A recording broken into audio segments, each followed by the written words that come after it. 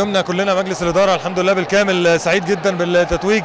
فريق الطايرة الحمد لله كما عودنا عند ثقتنا فيهم الحمد لله كللوا.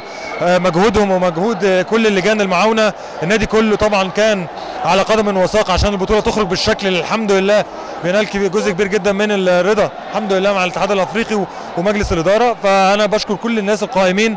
أه بشكر حضراتكم كلكم على الاهتمام. الحمد لله يعني كنتوا معانا ثانية بثانية. الحمد لله.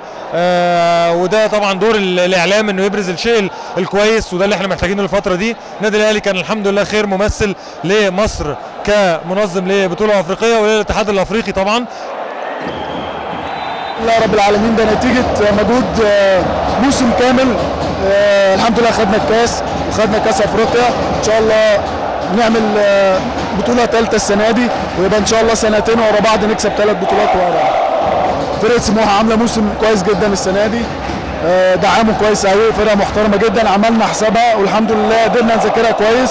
وعملوا الجيم الثاني كويس قوي لكن الحمد لله سيطرنا على الماتش من الأول للاخر الحمد لله. طبعا زي ما أنت قلت ده بتبقى يعني نتاج تعب موسم كامل من التدريبات والتخطيط. طبعا إن إحنا نوصل للمرحلة دي نبقى أبطال أفريقيا الحمد لله.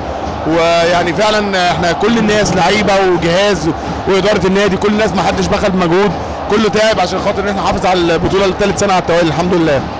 صعب جدا جدا إن في حد يقدر يكسب فرقتنا هنا في النادي في الصالة دي.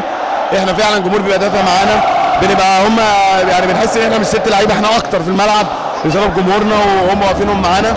فالحمد لله وبشكرهم طبعا على إن هم حضروا وساندوا بالقوة دي ونتمنى دايما يا رب إن هم يبقوا معانا ونفرحهم إن شاء الله.